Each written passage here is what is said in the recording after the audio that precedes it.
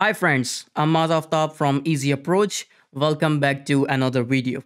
In this video, we are going to talk about Grid View widget in Flutter. Grid View widget is a scrollable widget that helps you display items in a grid layout. We know Flutter has list view widget that helps you display items in a list, one next to another.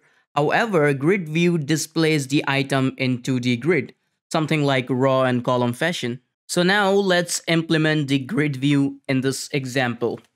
But before implementing the grid view, let's see what code we have done so far. So there's nothing fancy in the code. We just have the parent widget and inside it we have material app and inside the home I have given home page widget that I have just created. It's just a simple stateless widget with a scaffold and in the body we just have an empty container. So let's create the grid view widget.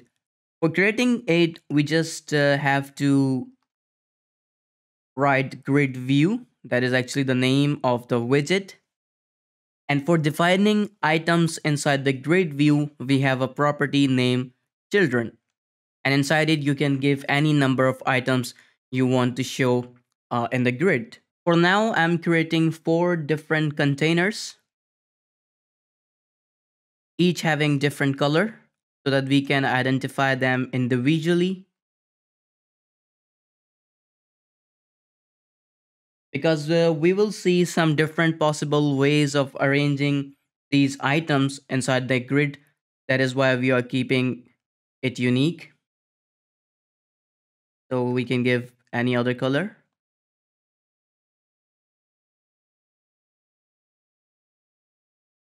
This is it.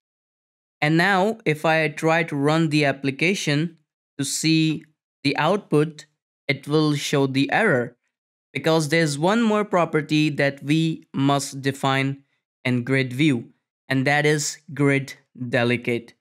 Grid delegate is the object that actually controls the arrangement of the items inside the grid.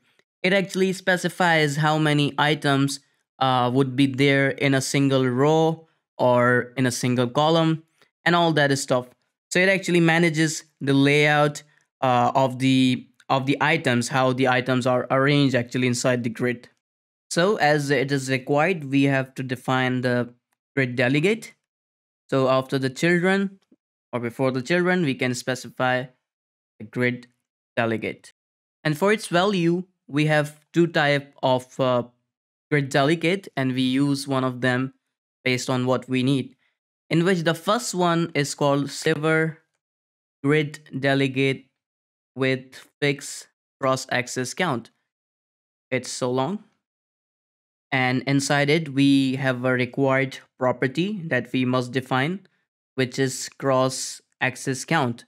And it can be any integer value. For now, I'm just giving 3, but I will tell you why I give here 3. Now, before understanding this whole thing, uh, let's first understand what this cross axis for grid is. With grid, there are two axes associated. The first one is called main axis and the other one is called cross axis. Main axis for grid is the axis where grid view is scrollable and the cross axis is perpendicular axis to the main axis. And for the grid view, the default scroll direction is vertical. That is why the main axis is the vertical axis and the cross axis is the horizontal axis of the grid.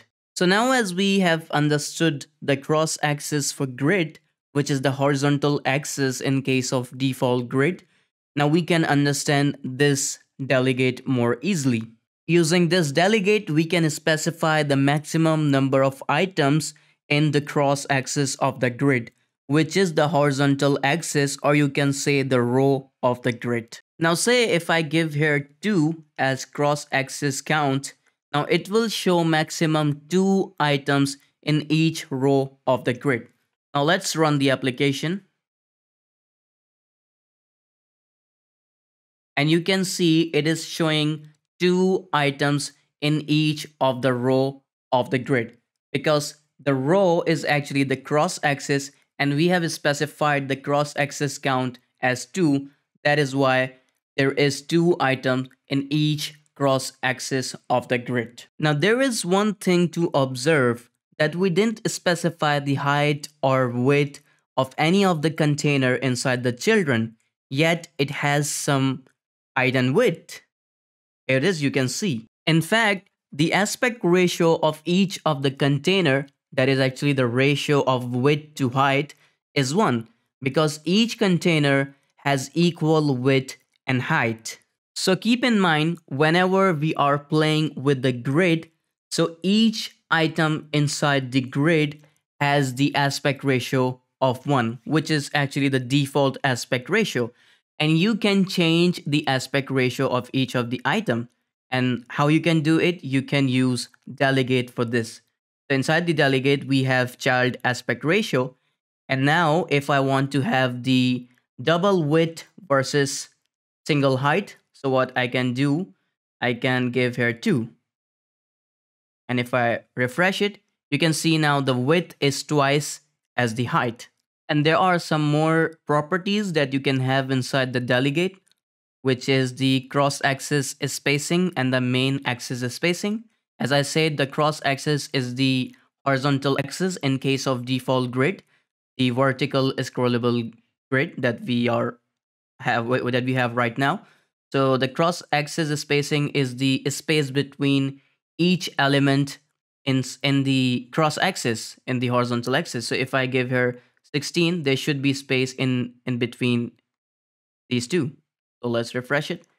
You can see the there is uh, 16 pixels of space in the in the cross axis between the elements between the items and similarly we can have the main axis spacing and if I give here 16 you can see now there is some space. There's a space of 16 pixels in the main axis of the grid.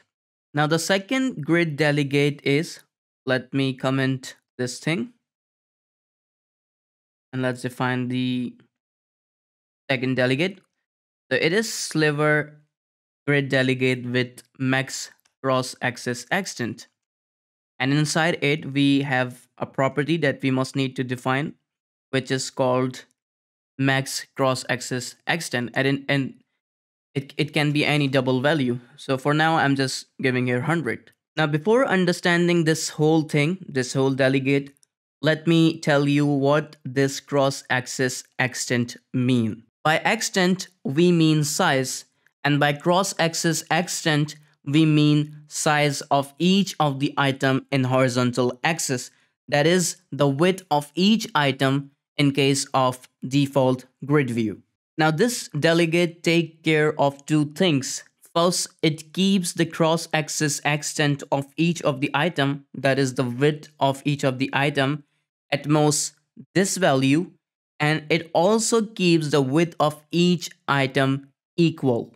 Now then, we have four total items uh, in the grid, and maximum width of each of the item should be 100 because we have specified here the max cross axis extent to 100 and the total available space uh, in a row in terms of pixels uh, which uh, I calculated before is 412 pixels. It may be different in your device. So now it's obvious with given parameters that these four containers uh, can come in the same row because uh, as we have defined here, the max cross axis extent to 100. So the width of all of these containers should be maximum 100, should be at most 100. And the second condition that this delegate needs to be needs to fulfill is that the containers, each of the containers should have same width. So because we have 412 pixels space in the row and the maximum width should be 100, and they should be the width should be same. So both of the condition uh, gets fulfilled so all the containers can come in the same can come in the same row so now let's run the application. You can see all the containers is coming in the same row and now if we change this max cross axis extent to 150 so now we'll see what will happen so let's open the calculator. to predict the output.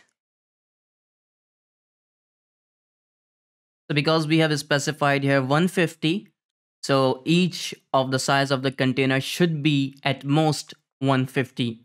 So it will be equals to 150 or it, it would be nearest to 150. So the easy solution is because we have total space of 412. So if we divide it with 150, so these number of uh, containers can come with equal widths in, in a same row. But as you see, 2.7 is no value. So let's try with 2 first. If we divide uh, 412 into equal parts, so the width would be 206, but you can see here the main, the max cross axis extent is 150 and the value of each width should be at most 150. So, so it should be less than or equals to 150. So definitely uh, it will not show two elements, but it will show more than two. So let's try the three. So you can see now it, it, it's, it will show three elements with each having this width.